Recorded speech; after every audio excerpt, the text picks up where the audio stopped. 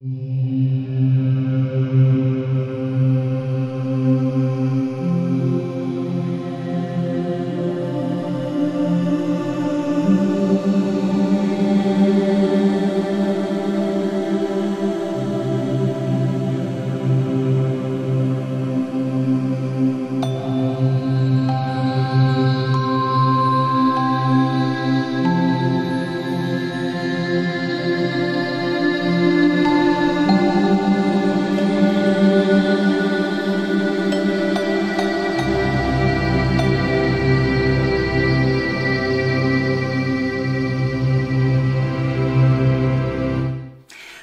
Tous mes chers amis, merci de me retrouver dans cette nouvelle vidéo de présentation de jeu et un jeu qui n'était pas forcément prévu que je vous présente. Enfin, oui et non, vous allez comprendre puisqu'il y a une petite histoire derrière. En fait, c'est un jeu qui est sorti il y a déjà quelques mois, même plusieurs mois.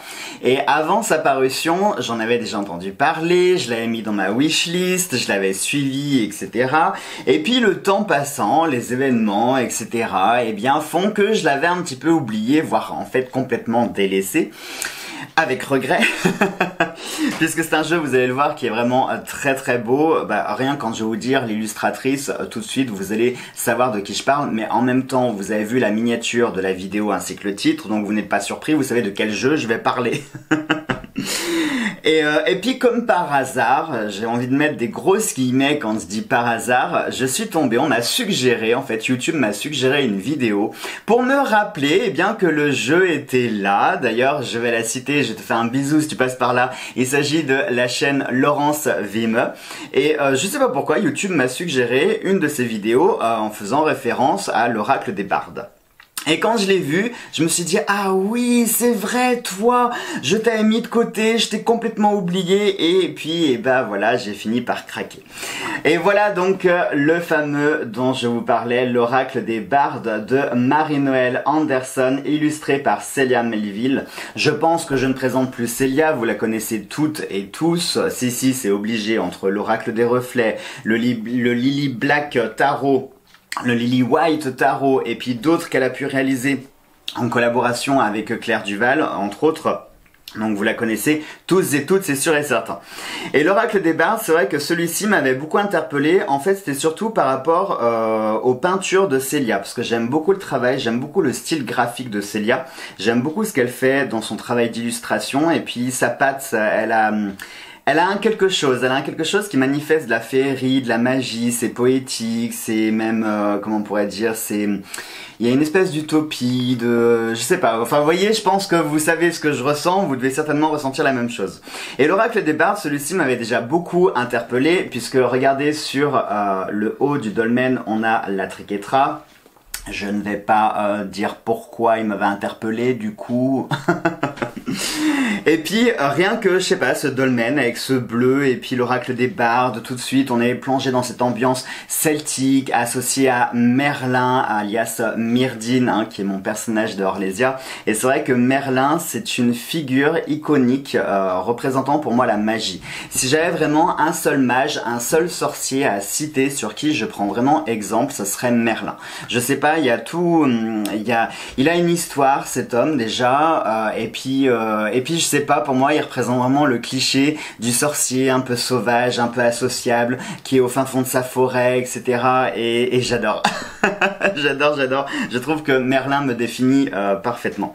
Et du coup l'oracle des bardes, eh bien va reprendre cette idée, va nous plonger dans cette ambiance celte, va nous plonger dans l'ambiance des chamans, des druides, etc.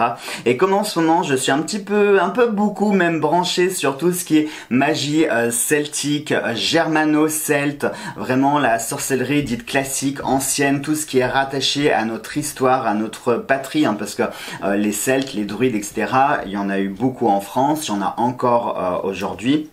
Et c'est vrai que c'est une forme de magie et une philosophie que j'apprécie énormément. Donc l'oracle des bardes arrive comme ceci, donc il est aux éditions Contredire, donc Contredire c'est très Daniel. Il est au prix de 28 euros, on est quand même sur un gros coffret. Hein. Et puis au niveau prix, j'ai envie de vous dire que ça reste correct, on est sur bah, la gamme de prix traditionnelle pour les coffrets euh, de cette envergure-là. On est sur de la bonne manufacture, hein. à ce niveau il n'y a pas de souci non plus. On est sur une finition, alors je sais pas si vous allez le voir en, en vidéo. Non, si, ah, si peut-être avec la lumière. Vous voyez, on peut voir le titre de l'oracle des bardes qui est en brillant alors que le reste de la boîte est mat. On va retrouver ce style brillant, regardez sur les cartes aussi alors que le reste du coffret est mat. J'aime beaucoup la couleur du coffret, ce bleu azur est vraiment magnifique, ça nous plonge je trouve dans une spiritualité qui est immédiate. Et, euh, et puis voilà. Allez, je vais vous lire un petit peu maintenant la préface qu'il peut y avoir sur le coffret et ensuite je vous basculerai donc pour découvrir ce qu'il y a à l'intérieur de ce coffret. Les bardes celtes nous invitent à un voyage spirituel à travers 36 mythes dispensant sagesse et connaissance, que nos ancêtres racontaient au coin du feu pour égayer les longues soirées d'hiver. Ces histoires captivantes sont autant de scénarios qui font écho à des épreuves de notre vie. Si certaines ont des fins heureuses, d'autres tournent mal. Le cas échéant, faire bon usage de notre libre arbitre nous permettra de retourner la situation. Les 36 cartes superbement illustrées de cet oracle singularisent chacune un mythe. Grâce au livre de 272 pages, vous découvrirez l'histoire et les légendes des bardes, leur universalité et leur intemporalité. Vous pourrez également approfondir la signification de chaque mythe grâce à la description de la personnalité lui correspondant, le défi à transcender qui lui est rattaché et sa structure. Enfin, dans le respect de la tradition celte, un arbre est assigné à chaque mythe, dont la symbolique apporte un ultime éclairage utile au processus. Donc comme vous l'aurez compris, je vais un petit peu vous dire moi ce que je ressens par rapport à ce jeu. Je pense que ça peut être un bon outil si vous êtes branché chaman, si vous êtes dans le reiki, si vous êtes dans ce mouvement de magie naturelle, etc. etc. Je pense que c'est typiquement le genre de jeu qui pourrait vous plaire. Euh, vous allez le voir, déjà les illustrations sont superbes. Elles nous plongent vraiment dans un univers qui est euh, féerique, il n'y a pas d'autre mot. On est vraiment plongé comme ça dans euh, cette ambiance euh, celte, mais tout ce qui est rattaché aussi au folklore celte. Et vous allez découvrir, les, les cartes sont vraiment très très belles aussi. Mais, mais ce qui vous intéresse le plus, c'est Jo, comment je peux utiliser ce jeu? Est-ce que c'est un oracle divinatoire? Est-ce que c'est un oracle pour faire du travail personnel, de la guidance, de l'introspection, etc. etc. Ben, envie de vous dire un petit peu de tout en fait. Il me semble être un oracle assez polyvalent puisque vous allez le voir derrière en fait là pour le coup vous savez ce que je vous dis souvent par rapport aux guidebooks, que les guidebooks sont là en support pour les cartes, mais euh, que c'est à vous de laisser parler votre intuition. Là, pour ce jeu-ci, j'ai envie de vous dire que le livre peut vraiment représenter un atout intéressant, puisque vous allez partir à la découverte des mythes sur chacune des cartes, et dans leur descriptif, vous allez pouvoir vous laisser porter aussi par votre intuition pour laisser parler eh bien une part de divination. Et là, je vais vraiment faire référence à la la vraie divination, à la vraie voyance. Vous savez, euh, celle qu'on peut imaginer. Euh, avec euh, l'oracle qui est dans sa grotte, qu'on vient consulter, qui jette deux trois os en l'air et puis qui vous interprète quelque chose. Je pense qu'on est vraiment sur ce type de voyance là, c'est-à-dire que si vous voulez quelque chose qui soit facile, qui soit instinctif, qui soit intuitif, ce jeu-là, hmm, je suis pas sûr qu'il soit fait pour vous par contre. En revanche, si vous voulez vraiment travailler la, symbolique et les formes, ainsi que puiser dans l'imaginaire, dans euh, les traditions et dans euh, la culture et le folklore celtique, pour en extraire eh bien des, euh, des choses que vous pourrez percevoir, donc ce qui veut dire un gros travail quand même, là oui, ce jeu sera fait pour vous. Et en même temps, je pense que ça peut être aussi un merveilleux support de travail, de guidance. Bon, c'est un petit peu facile de dire ça parce que tous les jeux, quasiment tous les jeux, on peut faire de la guidance, on peut faire du travail euh, perso et psycho avec, donc c'est un peu facile de dire ça. Mais celui-ci, il va vous apporter une certaine ampleur, une certaine, euh, comment vous dirais-je, euh, il va vous apporter un petit côté féerique en plus que parfois certains jeux n'ont pas toujours. Hein. Allez, maintenant, ce que je vous propose, c'est de basculer d'angle et que je vous fasse découvrir l'intérieur de ce très joli coffret. Voici donc le dessus du coffret, comme vous pouvez le voir, j'aime vraiment beaucoup les couleurs, j'aime beaucoup les illustrations ce dolmen avec cette triquetra comme ça qui insuffle de l'énergie, qui rayonne. On est tout de suite plongé dans l'univers de Merlin, dans le monde arthurien et ça j'adore, vraiment j'adore.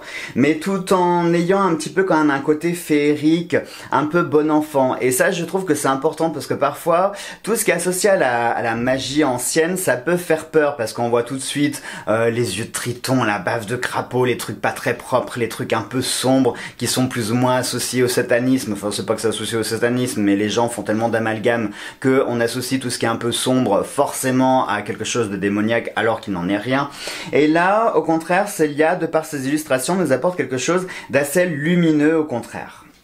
Allez, je vais vous montrer maintenant l'intérieur du coffret, comme vous allez pouvoir le voir, il est vraiment bien garni. On va tout d'abord retrouver un livre. Et attention, on n'est pas sur un guidebook, regardez l'épaisseur du livre, on est sur un vrai livre. Je vous montrer un petit peu l'intérieur. J'aime beaucoup le papier qui fait un peu ancien. Je sais pas si ça va bien rendre à la caméra. On a vraiment l'impression en fait d'avoir euh, une sorte de grimoire. Euh, j'aime beaucoup, j'aime beaucoup le style du papier. On va retrouver chaque illustration des cartes en pleine page, couleur comme vous pouvez le voir. Le papier n'est pas glacé et j'aime autant. Honnêtement, euh, là pour le coup du papier glacé, hmm, je suis pas sûr que ça aurait fait joli. Enfin à mon goût après. Hein. Ça n'engage que moi de dire ça. Ah tiens, comme par hasard, la, page que j'ouvre, le premier prénom que je vois, c'est Birgit. Birgit qui est le prénom de ma maman en plus. Et puis c'est écrit, c'est écrit Birgit. C'est, c'est, marrant. Vous voyez, c'était un signe, c'était un signe. Ce jeu, il me le fallait à tout prix. Donc, comme je le disais, on va retrouver l'illustration de la carte avec son numéro, le nom de la carte, l'arbre auquel il est rattaché, et puis euh, son descriptif. Donc pour le coup, j'ai envie de vous dire euh, de, de, vous plonger dans le livre parce qu'il peut vraiment être intéressant pour vous apporter des informations supplémentaires. Parce que regardez un petit peu, on n'a pas juste que un descriptif sur une page, non. On va avoir ici le descriptif qui continue, on va avoir la personnalité de la carte, le défi qui lui est rattaché, on a sa structure, on a l'arbre qui lui est euh, assigné. Donc quand même, on a un joli portrait de chaque carte et on comprend mieux du coup pourquoi le livre est si épais, puisqu'effectivement, si pour chaque carte on a euh, 3-4 pages de descriptif, euh, il faut il faut ça effectivement. Donc pour le coup, le livre, je le trouve euh, vraiment bien. Même si c'est vrai qu'aujourd'hui, la plupart des guidebooks dans euh, les oracles sont de vrais livres. Hein. Je pense tout de suite par exemple à Arcana Sacra. Dans chacun de leurs coffrets, on va retrouver non pas un guidebook avec euh, 4 pages, non, on va retrouver vraiment un livre, un livre que vous auriez pu acheter à part, à côté de l'oracle, tellement il est bien fourni et bien détaillé. Donc j'ai envie de dire que euh, là pour le coup, les livres sont intéressants à lire. C'est pas juste un descriptif des cartes. On va retrouver un petit pochon à l'intérieur couleur euh, plutôt couleur argentée, hein. un petit pochon en satin couleur argentée. Alors je sais pas si ça rend bien la caméra, mais euh, mais il est, je dirais lunaire, exactement la couleur, je dirais argenté lunaire. Pour l'intérieur du coffret, on est sur quelque chose de sobre. On est sur un intérieur couleur euh, vert turquoise. J'avoue, alors Peut-être que euh, c'est mon côté exigeant ou parce qu'on nous habitue trop à ça, mais j'avoue que j'aurais bien aimé retrouver une petite illustration de Célia à l'intérieur du coffret. Euh, voilà, bon, c'est histoire de chipoter, hein, qu'on soit d'accord. Mais c'est vrai qu'on nous habitue tellement à avoir maintenant des illustrations dans les, dans les boîtiers qu'on en devient exigeant. Et maintenant, on va découvrir donc euh, les cartes. Les cartes qui sont vraiment euh, très jolies. Alors j'ai juste entre guillemets un petit reproche à faire, mais c'est pas tellement un reproche en fait, c'est par rapport à mon goût, à moi. Donc ça n'engage que moi de dire ça qu'on soit bien d'accord. Vous savez que j'aime les cartes avec une finition gloss et là comme vous pouvez le voir, on a des cartes avec une finition gloss. Mais pour le coup, pour ce jeu, J'avoue que j'aurais préféré avoir une finition euh, mat ou satinée à la rigueur. Mais euh, mais je sais pas en fait l'aspect glossy me, me, gêne un peu. Pourquoi? Parce que le, le, coffret il a un toucher un petit peu velours un tout petit peu de peau de pêche. Il est satiné. On a juste les titres qui sont en effet gloss. Et pour le coup je trouve que les cartes euh, vont pas avec le coffret. Vous voyez ce que je veux dire? Alors je suis désolé peut-être que je suis exigeant et je suis chiant et que je chipote pour un détail. Mais voilà j'aurais préféré avoir euh, des cartes qui soient juste satinées exactement comme le coffret. Mais bon c'est pas grave en soi la tranche est argentée, ce qui est euh, joli, euh, ça lui apporte, ça lui apporte une petite plus-value. Pour le coup, l'argenté sur les tranches se porte bien parce que le jeu est brillant. J'avoue que si le jeu avait été satiné ou mat, peut-être que les tranches dorées auraient été de trop. Donc là, on va dire que c'est raccord. Le jeu est quand même assez grand. Si vous avez des petites mains, regardez, euh, euh, les cartes sont relativement larges. Heureusement, il n'y a que 36 cartes, donc le paquet n'est pas très épais. Mais j'avoue que s'il avait été épais avec ce format-là, même moi, j'aurais eu du mal à le tenir parce que regardez, juste avec 36 cartes, déjà, j'ai du mal à, fermer, euh, à fermer la main. La qualité est plutôt bonne. Hein. On est bah, sur la qualité très Daniel, donc vous connaissez tous.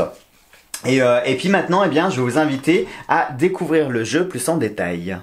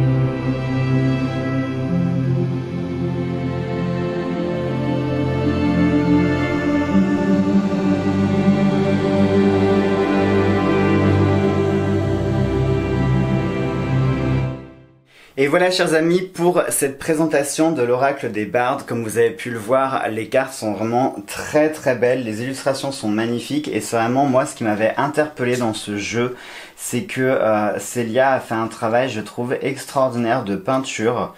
Euh, juste chaque carte, on a envie de la regarder et juste de la contempler et se laisser porter tout simplement par la sagesse. Quand je vous disais que c'est un oracle qui n'est pas intuitif, oui et non. C'est-à-dire que effectivement, les peintures sont complexes et euh, si on n'est pas familier du folklore celte, il y a des choses que vous n'allez peut-être pas comprendre comme ça de prime abord. Regardez celle-ci, euh, on se demande bien pourquoi je l'adore.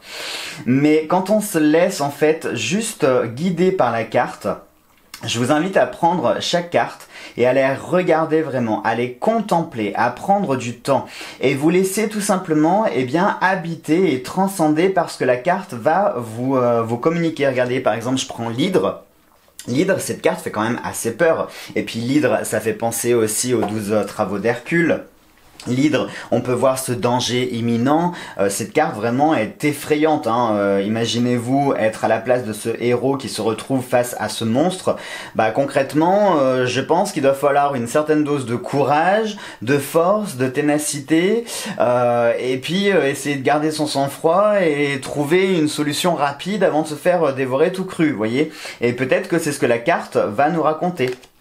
Mais vraiment, euh, les illustrations sont juste magnifiques. Regardez celle-ci, elle me fait penser à Angelina Jolie dans le film Maléfique.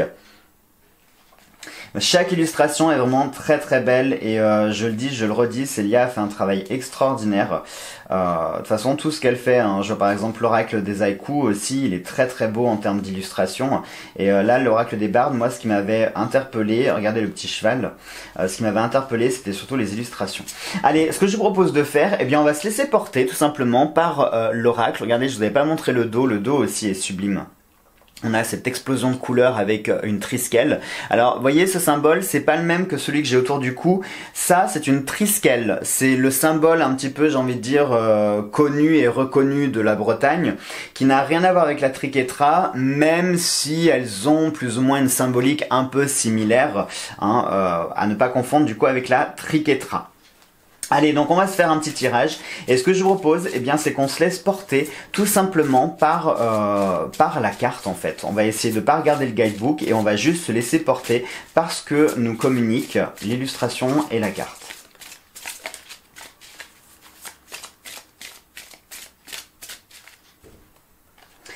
Et nous avons... Ça, c'est un, petit peu facile du coup. Hein. Et pourtant, j'ai pas triché. On retrouve, regardez, la carte qui est l'illustration du guidebook et du coffret avec la carte de l'hôtel. Qu'est-ce que l'hôtel pourrait nous symboliser? Eh bien, pour moi, l'hôtel, ça me fait vraiment penser d'une part à la famille, au foyer, à nos racines, à nos origines. Mais ça nous parle aussi d'un espace sacré et consacré. Peut-être que certains d'entre vous en ce moment ont besoin de se recentrer sur leurs priorités, sur leur propre personne sans parler d'égoïsme ou quoi que ce soit, vous devez impérativement renouer et communier avec votre nature première, votre nature profonde. Par ailleurs, l'hôtel aussi, ça me fait référence eh bien, à la magie, à la pratique de la magie. Donc peut-être qu'il est temps pour vous eh bien, de vous élever, de pratiquer votre spiritualité, de ne plus juste être dans la croyance, mais être aussi dans la pratique, dans une démarche pratique. Peut-être qu'il est temps aussi de vous reconnecter aux énergies de la Terre, hein, puisque regardez, on a cet hôtel avec les trois piliers plus la triquetra. Je ne peux pas m'empêcher forcément de penser au pouvoir des trois, aux sœurs, etc. dans Charmed. et c'est vrai qu'il y a, peut-être aussi une forme de trinité. peut-être que le 3 vous parle en ce moment. Essayez d'être plus attentif. On vous envoie certains signes pour vous montrer certaines choses ou pour vous faire comprendre certaines choses. Peut-être que la solution également est juste devant vous. Euh, la solution est devant vos yeux. Pourquoi aller chercher plus loin ce qui est juste à votre Pourquoi vouloir euh, faire davantage alors que vous pourriez faire plus simplement? Et puis voyez, on peut voir aussi cette forme de spirale. Pour moi, la spirale, ça me fait penser à un mouvement, à quelque chose qui tourne. Pas forcément qui tourne en rond, mais quelque chose qui est en mouvement. Donc, je sais pas pourquoi, je ressens une forme de changement. Si vous voulez avoir du changement dans votre vie, il est temps de le provoquer ce changement, comme si par un coup de baguette magique ou comme si vous faisiez un rituel, vous alliez apporter ce changement. Quand on fait un rituel, peu importe euh, son énergie, peu importe son intention, ça va faire changer les choses, ça va les transformer. Eh bien, c'est le même principe pour le changement, et ça je vous le dis souvent, si vous voulez avoir le changement qui s'opère dans votre vie, n'attendez pas bêtement, provoquez-le ce changement. effectivement, je pense qu'il y a des choses qui sont à portée de main dans votre vie et c'est à vous de les mettre en place. C'est à vous de les comment on pourrait dire, de les disposer de façon à ce que les choses puissent se réaliser. Il est fort probable et il est fort à parier que vous ayez déjà tous les outils entre vos mains, que vous possédiez déjà tout ce qu'il faut. Il vous suffit tout simplement de poser les choses correctement pour que ça puisse se réaliser. Un peu comme si vous aviez tous les ingrédients d'une recette, ben il manque plus que vous euh, ben, mettiez les mains dans le saladier et puis que vous le fassiez. Ce gâteau, il va pas se faire tout seul. Eh bien, c'est un petit peu ce que j'ai comme euh, comme comme ressenti par rapport à cette carte. Et puis il y a tout cet aspect, comme je l'ai dit, magie, connexion spirituelle. Il est possible que soit on vous envoie des messages, soit c'est à vous à envoyer un message fort à l'univers pour vous, pour lui dire Eh oh, je suis là. Ça fait déjà quelques temps que je vis comme ça. Je voudrais que les choses évoluent, se transforment et changent. Donc c'est à vous aussi d'envoyer un message à l'univers. Hein. Et réciproquement, peut-être que celui-ci aussi vous répondra, ou peut-être qu'il vous a déjà envoyé certains éléments de réponse pour vous guider et pour vous faire comprendre les choses. Mais pour moi, l'hôtel, ici, on nous parle à la fois d'ancrage, de connexion, de reconnexion, de spiritualité. Il y a un aspect aussi concret, pragmatique, matériel, quelque chose en lien avec la famille, avec le foyer, quelque chose qui est stable, hein, puisque regardez, cet hôtel, euh, ces dolmens, ils sont stables, hein, ils perdurent dans le temps. Donc, il y a aussi une forme de stabilité. Je pense que certains d'entre vous sont invités ici à retrouver une forme de stabilité et à se réancrer pour pouvoir retrouver cette connexion qu'il y avait auparavant. Voilà donc mes chers amis pour cette présentation de l'oracle des bardes. J'espère que le jeu vous aura plu et que vous l'aurez également trouvé beau. Et si c'est le cas, eh bien j'ai envie de vous dire, laissez-vous tenter et puis laissez-vous enchanter par son univers et par sa magie. Sur ce, moi je vous embrasse tous et puis on se retrouve très vite pour de prochaines vidéos. Gros bisous à tous.